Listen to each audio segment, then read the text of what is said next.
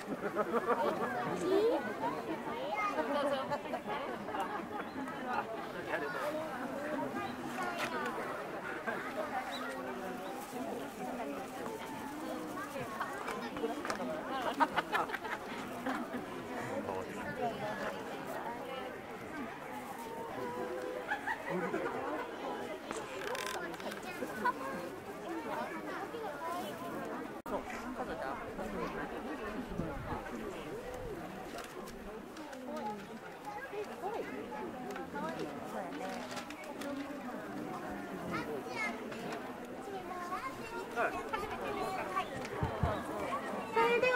様大変お待たせいたしました本日はお集まりいただきまして誠にありがとうございますただいまより北極熊ピースの22歳誕生会を行いますまずはじめにピースの飼育担当の高市敦弘から挨拶を申し上げます皆さんおはようございます。あ、こんにちは。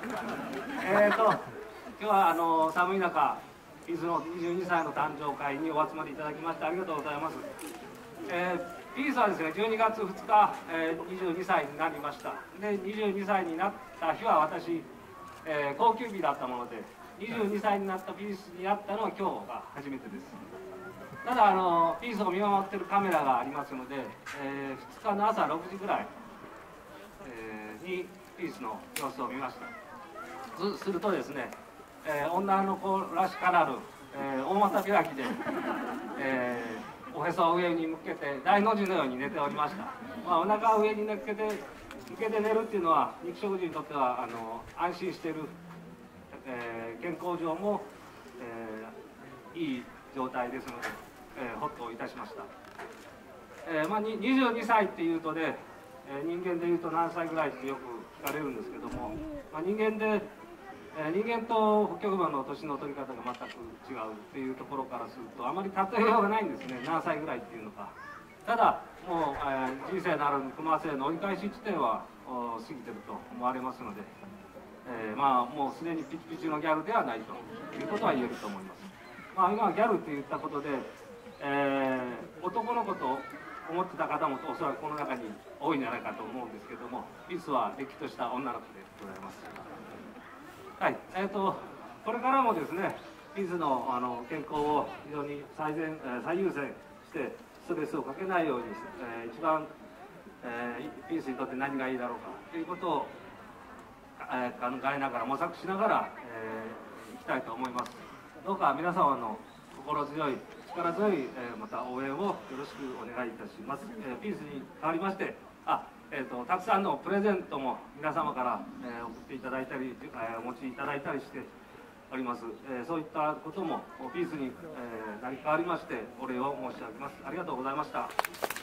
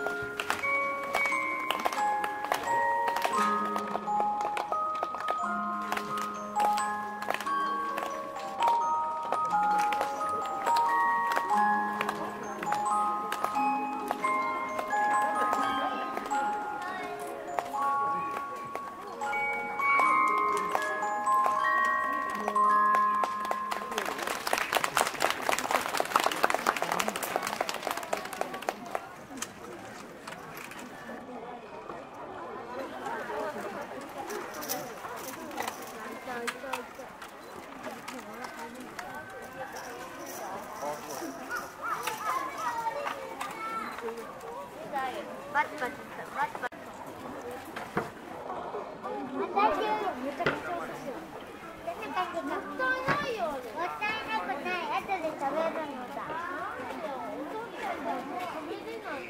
べれるよ食べれるよ動物だから。あ、ゴミじゃない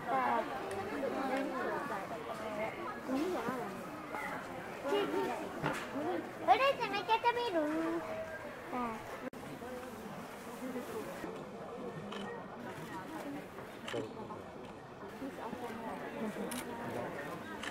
あ、おったおった。じゃあ、抱っこあげようか。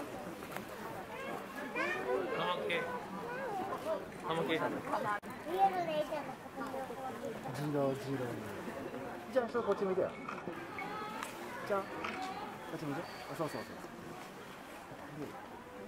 う。ん、むっくりくまさん。の格好して。そうです。